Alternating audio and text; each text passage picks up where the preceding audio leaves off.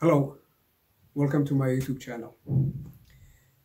I would like to share with you how I use my cell phone as a webcam on my uh, computer to use Zoom program to teach online.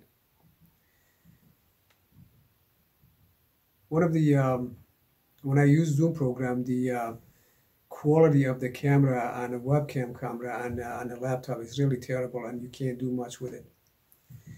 So the, the best thing you can do is uh, use the external uh, camera or external web camera if you can find a webcam if you can find one.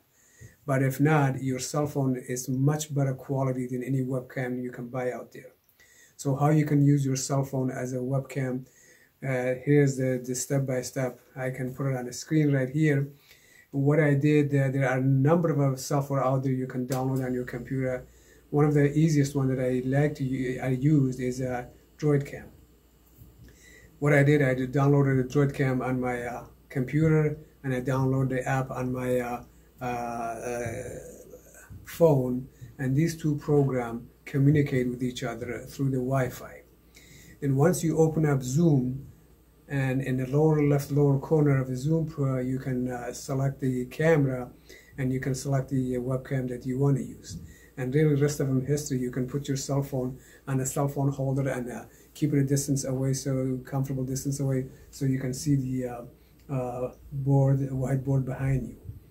And what I did for this whiteboard I went to Home Depot and Lowe's. You can buy the panel of a 4 by 8 sheet 4 feet by 8 feet for less than $20 rather than paying a big money for a real whiteboard. Good luck